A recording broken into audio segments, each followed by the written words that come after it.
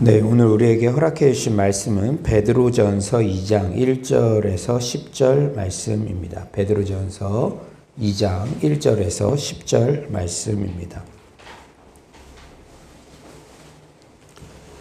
베드로전서 2장 1절에서 10절 말씀, 예, 저와 여러분이 한 절씩 어, 교독하겠습니다. 그러므로 모든 악독과 모든 기만과 외식과 시기와 모든 비방하는 말을 버리고 갓난 아기들 같이 순전하고 신령한 저지를 사모하라. 이는 그로 말미암아 너희로 구원에 이르도록 자라게 하려 함이라. 너희가 주의 인자하심을 맛보았으면 그리하라. 사람에게는 버림바가 되었으나 하나님께는 택하심을 입은 보배로운 산돌이신 예수께 나아가 너희도 산돌같이 신령한 집으로 세워지고 예수 그리스도로 말미암아 하나님이 기쁘게 받으실 신령한 제사를 드릴 거룩한 제사장이 될지니라.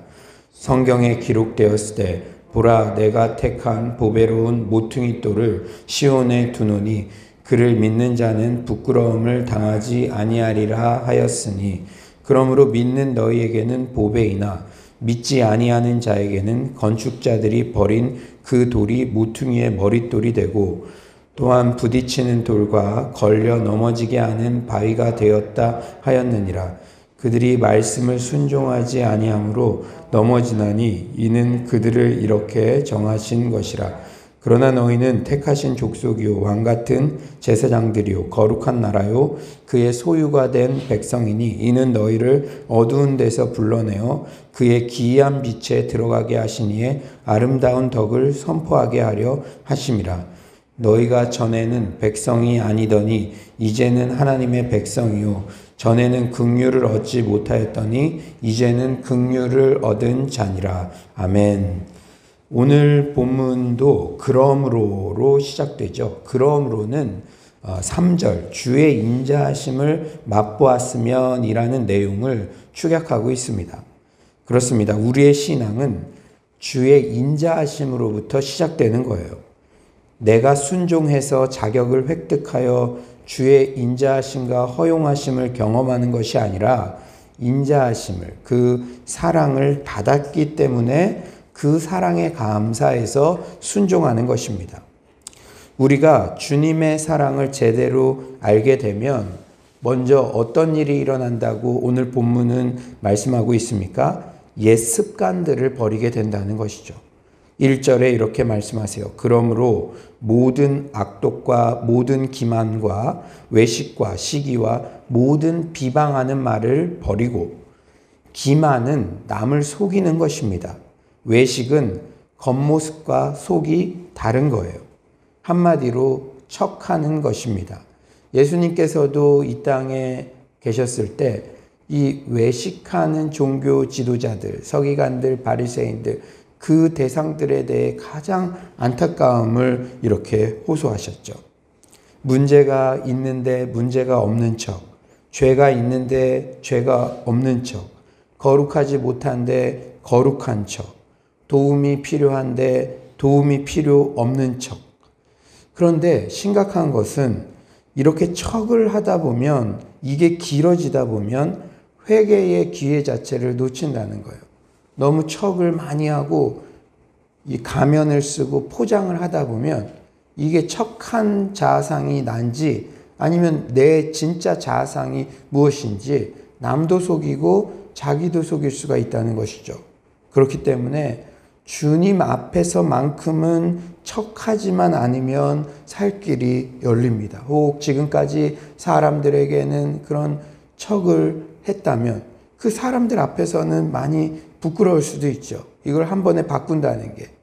그리고 자신의 그러한 연약함, 가정적인 어려움, 이런 것들을 다 이렇게 얘기할 수 없지 않습니까? 그러나 주님 앞에서만큼은 척하지만 않으면 살 길이 열린다는 사실 여러분 잊지 마시기 바랍니다. 지금 우리가 코로나가 이렇게 길어지다 보니까 어쩌면 우리가 그동안 척했던 것들, 실력이 없는데 실력이 있는 척, 정말 내 마음은 불안한데 평안한 척, 그런 것들이, 그러한 외부적인 요인들이 다 사라지고 있잖아요.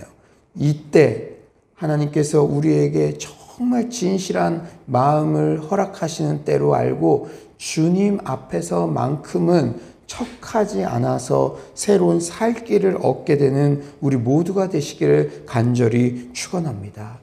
또한 시기와 비방하는 말을 버리라 그러죠. 우리는 서로 덕을 세우는 말, 은혜로운 말, 긍정적인 말, 소망의 말을 하도록 힘써야 합니다. 여러분, 인생은 말대로 되어요.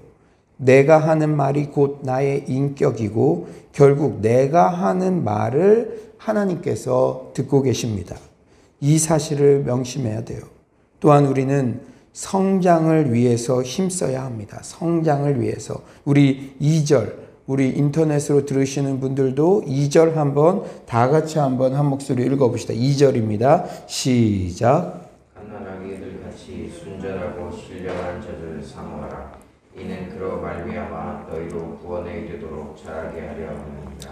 순전하고 신령한 젖을 사모하라. 신생아가 엄마 젖을 먹지 않으면 성장은 유언합니다. 우리는 끊임없이 말씀과 기도 예배를 사모해야 하죠. 모든 생명체는 자라게 되어 있어요. 전쟁 중에도 아이는 자랍니다. 여러분, 전쟁 중에도 아이는, 엄마 품에 안긴 아이는 새록새록 잠들고 엄마의 젖무덤에 파서 엄마 젖을 먹고 전쟁 중에도 아이는 자라게 되어 있어요. 우리가 아무리 고난 가운데 있더라도 말씀과 기도와 예배를 통해 끊임없이 영적 성장을 이루어야 한다는 사실을 명심하십시오. 갓난 아이가 있는데 전쟁 중이라고 야 지금은 별로 안 자라도 돼 애가 안 자라고 있는데 그것을 정상적으로 여기는 부모가 어디 있겠습니까? 우리가 아무리 고난 가운데 있어도 우리 안에 생명이 있기 때문에 영적 생명이 있기 때문에 계속적으로 자라나는 것이 이건 특별한 사람들에게만 주어진 것이 아니라 이것이 당연한 것이고 하나님께서는 고난 중에도 우리를 성장케 하시는 줄 믿습니다. 그런데 우리의 성장은 교회 공동체와 함께 할 때 이루어질 수가 있어요. 오늘 본문 4에서 8절을 통해 베드로는 성도 개개인의 성장을 교회와 연합한 삶의 관점에서 설명합니다. 4에서 5절이죠. 사람에게는 버림바가 되었으나 하나님께는 택하심을 입은 보배로운 산돌이신 예수께 나아가 너희도 산돌같이 신령한 집으로 세워지고 예수 그리스도로 말미암아 하나님이 기쁘게 받으실 신령한 제사를 드릴 거룩한 제사장이 될지니라. 교회의 머리는 산돌이신 예수 그리스도십니다. 우리 또한 교회 공동체에서 각각의 산돌로서 한 건축물로 세워지고 있어요. 베드로전서 시대의 집들은 모두 돌집이었습니다. 각각 모양이 다른 돌들이 서로 모난 부분들이 다듬어져서 멋지게 한 집으로 지어지는 것이죠. 교회가 바로 그런 곳입니다. 산돌이신 그리스도께서 머리가 되시고 그 안에서 연합해서 하나님께서 성도 한 분한 한 분이 살아온 배경이 다르고 출신 지역이 다르고 개성이 저마다 다르곤 하지만 교회 공동체 생활을 통해 신앙과 성품이 다듬어지고 그리스도의 장성한 분량까지 자라나는 것입니다. 예수님께서 건축자들의 버린 돌이 모퉁이의 머릿돌이 되신 것 같이 우리 성도님들 한 분한 한 분도 교회 공동체 안에서 이렇게 성장하여 머릿돌 같이 하나님 나라에 그렇게 꼭 요긴한 존재, 하나님 나라의 일꾼들로 성장하는 것입니다. 저는 서울로 공동체를 목양하면서 감사한 것 중 하나는 성도님들 신앙이 성장한다는 소식들이 끊임없이 들리기 때문이에요. 제가 한분 한분 전화를 하거나 이렇게 대화를 하거나 그러면은 우리 청년들도 그렇고 서울로 교회 와서 이렇게 말씀도 매일마다 꾸준하게 읽으라고 독려해 주는 그런 전도사님도 계시고 주변에 이 성도님들도 계시고 그게 그때는 몰랐지만 이게 없을 때는 그리워질 것 같다라는 거예요. 우리 교회 와서 성장했다는 그러한 이야기들 그 들을 때마다 제가 참 너무나 하나님께 감사하다는 그러한 고백을 드리곤 합니다. 여러분들도 어떤 큰 교회에 그냥 등록도 안 하고 교회를 다닐 때랑 이렇게 가족 같은 공동체에서 서로 연결되어 있음을 느끼고 말씀 기도로 서로 독려하며 나아갈 때 언제 신앙적으로 성장하는지 이미 체험을 통해서 그 대답을 알 것입니다. 제가 늘 강조하죠. 사막의 맹수는 무리에서 이탈된, 이탈된 양을 가장 먼저 노립니다. 여러분, 지금 코로나19가 우리 한국교회 성도들에게 직격탄이 되는 그것이 무엇입니까? 물론 물질적인 고난도 있지만 영적인 공동체 그 무리에서 이탈된 양들을 조장한다는 거예요. 무리에서 양들이 이탈돼. 여러분, 여러분들 가족 중에도 기존에 그래도 구레네 시몬처럼 억지로라도 십자가를 졌지만 이 모임에서, 기도 모임에서, 은혜의 자리에서 일주일, 이주일, 한 달, 두 달 소홀해졌을 때 그분의 영적 상태가 어떤지 잘 알잖아요. 우리는 지금 경험하고 있어요. 가족 중에 그런 분이 한 분이라도 있다면 그것은 그 한 분으로 끝나는 것이 아니라 그 영적인 영향이 자녀들에게도 미치고 그것들은 우리가 어떻게든 힘있게 독려해서 함께 격려해서 은혜의 자리로 나아가자고 해야 되는데 한 명, 두 명 이탈하는 사람들이 생기면은 그 땡기는 힘들이 있는 것입니다. 아, 저렇게까지 할 필요 있어. 나도 힘든데 그냥 눕자. 여러분, 눕기 시작하면 그 침대가 계속적으로 잡아당깁니다. 다음에는 의지가 있더라도 못 일어나는 거예요. 의지가 있더라도. 그것이 우울증으로 가는 그 길목이지 않습니까? 자꾸 우리 가족들이 누우려고 그럴 때 영적인 경각심을 가지고 어떻게든 온라인이든 오프라인이든 은혜의 자리에 있게 정말로 그 가지가 붙어 있게 우리가 애써야 될 줄 믿습니다. 예방을 해야 돼요. 예방을. 그런 징후가 보여질 때 예방을 해야 되죠. 사랑하는 여러분, 말세의 때가 될수록 코로나로 모이기가 힘들 때일수록 영적인 공동체 온라인이든 오프라인이든 어떻게든 붙어 있어야 우는 사자같이 삼킬 자를 찾는 마귀의 유혹에서 승리할 수 있게 될 줄 믿습니다. 오늘 베드로 전서에서 분명히 말씀하고 계시잖아요. 우리의 성장의 원리, 예수 그리스도가 머리 대신 교회 공동체 안에서 여러분 이 교회 공동체가 우리가 지금은 공기처럼 그냥 느껴지니까 나보러 성경 읽으라고도 하고 예배 나오라고도 하고 그런 것들이 그냥 일상인 것 같으니까 그 소중함을 모르지만 이것이 없어졌을 때 그 받게 될 영적인 폐해와 고통은 말로 다 할 수가 없죠. 여러분 어떻게든 붙어 있기를 힘쓰시는 여러분들 되시길 간절히 축원합니다. 오늘 이 새벽 내게 허락하신 사랑방 그리고 이제 내일부터 시작되죠. 내일부터 이제 우리 밴드에 우리가 영상 통화한 것도 캡처해서 올릴 텐데 삼겹줄 단짝 그 한분한 분이 얼마나 소중한지 깨닫게 될 줄 믿습니다. 그런데 8절에 주의해야 할 표현이 있어요. 8절에 또한 부딪히는 돌과 걸려 넘어지게 하는 바위가 되었다 하였느니라. 그들이 말씀을 순종하지 아니함으로 넘어지나니 이는 그들을 이렇게 정하신 것이라. 어떤 공동체든 은혜의 흐름에 동참하는 부류가 있는가 하면 그렇지 못한 그룹도 있어요. 오늘 본문을 보면 예수님에 대해서도 마찬가지였죠. 예수님이 따르는 자들, 믿는 자들에게는 리빙스톤, 산돌이었어요. 우리에게 생명력을 주는 머릿돌로서 긍정적인 존재로 받아들여지지만 여기 믿지 않는 자들에게는 그 좋으신 예수님도 부딪히는 돌, 걸려 넘어지게 하는 바위로 인식되고 있대요. 예수님 그 좋은 분이 부딪힌 사랑하는 여러분, 그 이유가 무엇이라고 말하고 있습니까? 말씀을 순종하지 아니함으로 말씀을 순종하지 않기 때문에 순종하지 않기 때문에 순종하는 자에게는 예수가 리빙스톤 산돌이지만 순종하지 않는 자들에겐 부담이고 거치는 돌이라는 거예요. 여러분, 우리를, 우리 자신의 신앙을 진지하게 돌아보면 우리가 순종 잘하고 믿음 좋을 때는 신나서 막 교회 오는 게 저도 그랬어요. 저도 거의 대학생 때 전도사 같이 일을 했어요. 전도사 같이. 청년부, 청소년부 거의 거의 교회에서 살았습니다. 힘든지 몰랐어요. 그런데 은혜가 떨어졌다는 징조가 무엇입니까?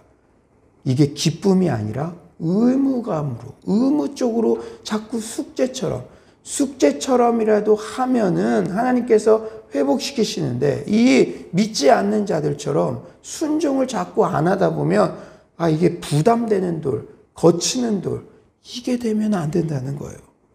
교회 공동체에 영적 프로그램들이 진행될 때, 그리고 이렇게 예배를 드릴 때, 온라인으로라도 오늘 새벽 기도 이렇게 접속해서 들으시고, 여러분들처럼 삼겹줄 무브먼트, 이사야 바이블 컬리지 등 적극적으로 순종하여 함께 반응하는 성도님들이 가장 큰 은혜의 수혜자가 되는 줄 믿습니다. 저희 교회에서뿐 아니라 이건 여러분들이 평생 붙잡아야 할 신앙의 원리예요. 신앙생활 그렇게 복잡한 게 아닙니다. 하나님께서 여러분들 한 명한 명을 부르신 데는 여러분이 우연히 온 게 아니에요. 아, 이 교회 공동체 안에서 여러분들이 영적으로 가장 성장할 것 같으니까 우리 시편 23편에 그가 나를 푸른 초장으로 인도하시면 실만한 물가로 인도하시는다. 우리의 목자 되신 예수님께서 푸른 초장, 실만한 물가, 여러분 한 명한 한 명이 가장 건강하고 성장할 수 있는 그러한 공동체로 여러분들을 부르신 것입니다. 부를 때 여러분들이 기도하며 하나님의 인도하신 가운데 왔듯이 이 안에서 하나님의 뜻이 있다는 거예요. 그렇기 때문에 이 공동체 안에서 여러분을 가장 잘 사랑할 것 같은 충성되이 여겨서 주의 종들을 세우시고 주의 종들에게 기도 중에 감동을 주시고 어떤 영적인 프로그램들이 진행이 될 때 그게 우연이 아니라 그 프로그램 가운데 적극적으로 반응하고 순종하는 자들이 가장 큰 은혜의 수혜자가 될 줄 믿습니다. 여러분, 어느 공동체에 가시든지, 어떤 교회에 가시든지, 이 사실은 붙잡고 우리가 신앙생활을 해야 될 줄 믿습니다. 마지막으로 9에서 10절은 우리 크리스천들의 정체성에 대해서 다시 한번 강조를 해요. 우리 9에서 10절 온라인으로 들으시는 분들도 한 목소리로 한번 크게 한번 읽어봅시다. 9에서 10절입니다. 시작. 그러나 너희는 택하신 족속이요 왕 같은 제사장들이요 거룩한 나라요 그의 소유가 된 백성이니 이는 너희를 어두운 데서 불러내어 그의 기이한 빛에 들어가게 하신 이에 아름다운 덕을 선포하게 하려 하시니라. 너희가 전에는 백성이 아니더니 이제는 하나님의 백성이요 전에는 긍휼을 얻지 못하였더니 이제는 긍휼을 얻은 자니라. 아멘. 우리 안에 고난이 닥칠 때 대적들이 칼로 권세로 공격한다고 해서 우리 또한 똑같이 대응해서는 안 돼요. 여러분 지금 같은 고난의 때 안티 크리스천들이 그럴 때 이 원리를 반드시 알아야 됩니다. 우리는 똑같이 칼로, 무력으로, 힘으로 대응해서 이기고 복수하는 게 아니라 우리는 정체성으로 이기는 것입니다. 무엇으로 이기는 것이라고요? 정체성으로. 우리의 정체성은 무엇입니까? 택하신 족속, 왕 같은 제사장, 거룩한 나라, 그의 소유가 된 백성. 이 세상은 길어야 100년이에요. 우리가 왕 같은 제사장으로 이 땅에서뿐 아니라 새 예루살렘 성, 천국에서 영원히 살아간다고 생각하면 지금 이 세상의 고통을 보는 시각이 달라지죠. 여러분, 우리가 부활 영화 다 같이 보았죠? 그 부활 영화에서 그 이어령 교수님이 하신 말씀이 저에게 두고두고 묵상이 돼요. 여러분들이 예수님을 믿는 이유가 무엇입니까? 예수님을 닮아가려는 것이죠. 그러면 예수님이 이 땅에서 사셨을 때 꽃길만을 걸어가셨습니까? 꽃길 걸어가는 것이 예수님의 목적이었습니까? 아닙니다. 그분은 오실 때부터 우리의 죄를 위해서 십자가에 달려 돌아가시는 것이 그분의 삶의 목적이었어요. 그러므로 우리가 그렇다고 막 일부러 채찍질하고 자기를 고통 가운데 몰고 가고 그게 아니라 고통을 바라보는 관점이 변화가 있어야 된다는 것이죠. 고통이 있을 때, 애매히 고난받는 상황이 있을 때, 히브리서에서는 무엇이라 권고합니까? 십자가에 달리신 예수를 바라봐라. 고통이 있을 때, 여러 가지 세상의 권세자들이 말도 안 되는 그러한 말들을 할 때, 그때 예수를 더욱 묵상하는 기회로 삼는 것이죠. 감히 저를 충성되이 여기셔서 그 길을 생각하게 하시고 예수님을 깊이 묵상하게 하시는군요. 사랑하는 여러분, 이 모든 정체성의 변화, 신분의 변화는 무엇으로 주어졌습니까? 10절에 이렇게 말씀하시죠. 이제는 하나님의 백성, 이제는 극류를 얻은 자. 바로 예수 그리스도의 십자가 공로 덕분입니다. 여러분, 제가 아이들을 이렇게 보면요. 놀라운 사실을 발견하게 돼요. 이렇게 아이들 딱 봐도 귀공자 타입이 있습니다. 소위 부티난다는 애들. 그리고 마음이 평안하고 이렇게 안정되고 뭘 해도 좀 자신감이 있어요. 그럼, 야, 참, 쟤네 집은 좀 부유한가? 뭐 이렇게 생각을 하게 도 되죠. 부모님이 다 그것을 지원을 해주나? 그런데 꼭 그렇지가 않아요. 그 경제적인 어떤 배경이나 포지션 그런 게 아니라 내가 아버지께 부모님께 사랑받는 존재다. 아이들이 뭐 그렇게 다 압니까? 저학년들, 초등학생, 유치원생들 그런 아이들. 내가 부모님의 진짜 사랑을 받는 존재다. 우리 부모님은 나를 사랑하셔서 어떤 희생도 감수하실 수 있으시다. 그런 게 아이들이 표현은 안 해도 있는 애랑 없는 애랑은 완전히 차이가 나요. 완전히요. 마찬가지입니다. 우리가 택하신 족속이고 왕 같은 제사장이라는 정체성을 딱 가진 자들은요, 우리 지난 주일 설교 때도 들었듯이 마음 안에 담대함이 있는 거예요. 왜? 우리 아버지가 천지 만물을 창조하신 하나님이신데, 지금요, 소위 세상의 권력자라고 하는 사람들요, 여러분, 뉴스 같은 데나 이런 요새 많이 노출되는 그런 권력자라고 보는 사람들 다 얼굴 표정 봐보세요. 다들 웃고는 있지만 그 안에 두려움을 감출 수가 없습니다. 사랑하는 여러분, 우리가 담대함을 가지고 세상에서도 승리할 수 있는 이유는 정체성 때문인 줄 믿습니다.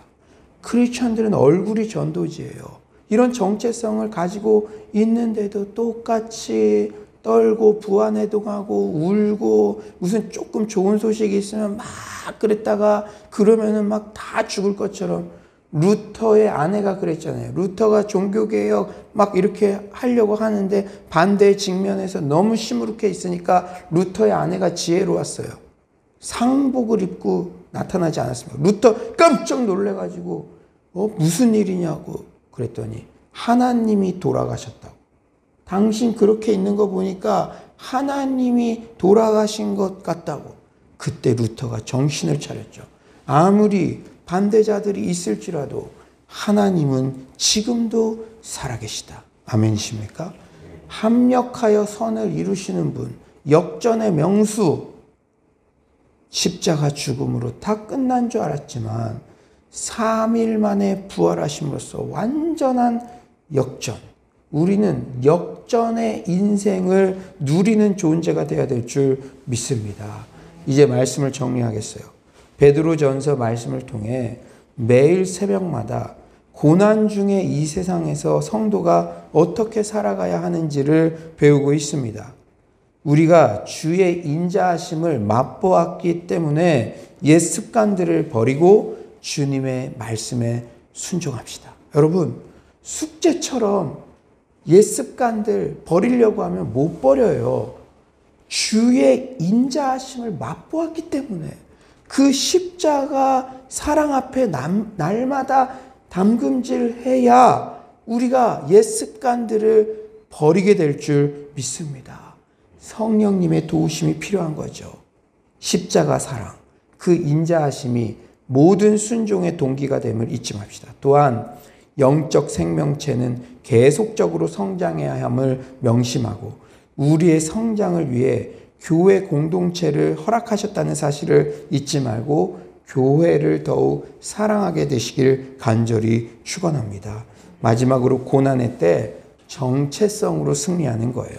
우리가 택하신 족속, 왕 같은 제사장, 거룩한 나라, 그의 소유된 백성이라는 사실 때문에 날마다 기쁨과 감사가 넘쳐나는 서울로의 모든 성도님들 되시길 간절히 축원합니다. 이 시간에 우리 이 말씀 생각하면서 한번 기도했으면 좋겠어요. 오늘 이 새벽에도 제가 십자가의 그 주의 인자하심, 그 사랑을 맛보기를 원합니다. 옛 습관들을 버리게 하여 주시옵소서. 특히 척하는 것. 내가 힘든데도 우리 집안에 문제가 있는데도 아무 문제 없는 것이냐 척하는 것. 주님 앞에서만큼은 오늘 이 새벽에 솔직하게 하여 주시옵소서. 나의 성장을 위해서 허락하신 이 공동체를 더욱 사랑하게 하여 주시옵소서. 애매히 고난받을 때도 우리의 정체성으로 십자가의 주님 바라보며 승리하게 하여 주시옵소서. 이 시간 주여 한번 부르짖고 기도하도록 하겠습니다. 주여 하나님 아버지 정말로 하나님께서 오늘도 이렇게 아버지와 정말 귀한 말씀 주셔서 하나님 아버지 너무나 감사합니다. 주여 주께서 하나님 인도하여 주셔서 하나님 우리가 옛 습관들을 다 버리게 하여 주시옵소서. 하나님 외식의 죄를 버리기를 원합니다. 하나님 문제가 있을 때 주님 앞에 달려 나오게 하여 주시고 주님께 그 문제를 아랠 수 있도록 도와주시옵소서. 주께서는 문제 이상 크신 분인 줄 믿습니다. 주님 주께서 도와주시고 하나님 우리가 기만의 말을 다 버리게 하여 주시옵소서. 진실하게 하여 주시옵소서. 사랑의 주님 또한 우리 안에 아버지 주님을 사랑하는 마음이 동기가 되어서 하나님 그 모든 일들을 감당하기를 원합니다. 하나님 주의 인자하심을 맛보았기 때문에 순종하기를 원합니다. 주여 주께서 역사하여 주시옵소서. 하나님 아버지여 정말 우리가 애매히 고난 받을 때 우리의 정체성을 생각하게 하여 주시고 십자가의 주님을 아버지 바라보며 나아갈 수 있도록 주여 주께서 역사하여 주시옵소서. 주님 저희들을 겸손케 하여 주시고 주님 앞에 온전히 아버지 나아갈 수 있도록 주님 주께서 하나님 아버지 역사하여 주시옵소서. 하나님 아버지 우리의 성장을 위해서 이 서울로 공동체를 우리에게 허락해 주셨는 줄 믿습니다. 주의 사역자와 믿음의 교우들 하나님 우리 사랑방 그리고 삼겹줄 단짝 그들을 사랑하게 하여 주시옵소서. 사랑과 선행을 격려하며 어떻게든 은혜의 자리, 하나님 아버지 그 영적인 역동의 자리에 하나님 아버지 함께 갈 수 있도록 주여 주께서 하나님 아버지 역사하여 주시옵소서. 주님 주님을 하나님 찬양하며 주님을 높여드리는 하나님 그러한 저희들 될 수 있도록 아버지 아버지께서 함께하여 주시옵소서. 주님 말씀과 기도 가운데 온전히 하나님 아버지 설 수 있기를 원합니다. 주님 주께서 하나님 아버지 도와주시옵소서. 아버지 아버지께서 아버지 함께 하실 줄 믿습니다. 여호와 하나님 여호와를 높여드리며 하나님 아버지 주만 바라보며 아버지 나아갈 수 있도록 주님 주께서 역사하여 주시옵소서. 하나님 아버지여 우리가 의무를 넘어 기쁨으로 그 모든 일들을 하나님 아버지 감당하기를 원합니다. 주여 역사하여 주시고 하나님 아버지 주님의 아버지 그 광의로우심과 아버지 인자하심을 맛보아하는 하나님 이 새벽이 될 수 있도록 주여 주께서 역사하여 주시옵소서. 사랑의 주님 오늘도 이렇게 귀한 말씀 주심에 감사합니다. 하나님 베드로전서 말씀을 통해서 고난 받을 때에 우리들이 어떻게 살아가야 되는지 그러한 내비게이션 같은 길잡이의 말씀을 들려주셔서 감사합니다. 우리가 말씀을 듣는 것으로만 그치지 않도록 도와주시고 이 말씀 하나하나를 작은 것부터 실천할 수 있도록 도와주시옵소서. 주의 인자하심 그 사랑하심이 우리의 모든 헌신의 동기가 되기를 원합니다. 우리 힘으로는 옛 습관들을 버릴 수가 없지만 성령님께서 우리와 함께하여 주시고 그 사랑을 생각하며 우리가 거룩하게 살고 싶은 열망이 우리 안에 일어나게 하여 주시옵소서. 무엇보다 외식의 죄를 버리기를 원합니다. 주님 앞에서만큼만이라도 정직하고 척하지만 않으면 우리에게 살 길이 열리는 줄 믿습니다. 이 새벽이라도 우리가 회개해야 될 것 회개하고 주님 앞에 힘들다는 것을 토로하며 주님이 주시는 위로로 다시 일어설 수 있도록 주께서 역사하여 주시옵소서. 산돌 대신 머릿돌 대신 우리 예수 그리스도께서 머리 되셔서 우리에게 서울로 공동체를 허락해 주심에 너무나 감사합니다. 이 공동체를 통해서 우리가 영적으로 끊임 없이 성장하게 하심에 너무나 감사합니다. 교회의 모든 영적 프로그램에 제 1순위에서 순종하게 하여 주시고 그리하여 은혜의 가장 큰 수혜자가 될 수 있도록 주께서 역사하여 주시옵소서. 애매히 고난 받을 때에 우리가 우리의 정체성을 놓치지 않게 하여 주시고 십자가에 달리신 주님을 바라봄으로써 우리가 왕 같은 제사장으로 평생 영원토록 왕노릇할 것을 바라보며 세상의 어떤 불의한 권력 앞에서도 주님 그 당당함과 담대함을 놓치지 않도록 주께서 역사하여 주시옵소서. 주님께서 오늘도 귀한 말씀 주신 감사드리며 예수님의 이름으로 기도드립니다. 아멘. 이 시간에 우리가 어, 다음 세대들을 위해서 특별히 기도합시다. 우리 예꼬부터 가스펠 청년부까지 우리 컴패션 Growing 유이 사역 그리고 우리 미션홈 사역들을 위해서 여러분들 기도해 주시고 오늘은 화요 Bible College가 있는 날입니다. 이사야 말씀을 통해서 우리가 영적으로 다시 한번 정말 회복되고 은혜 받는 그런 시간 되게 해달라고 기도해 주시기를 바랍니다. 또 예배 장소와 교육 장소 정말로 주님께서 순적하게 인도하여 주시고 코로나 때에도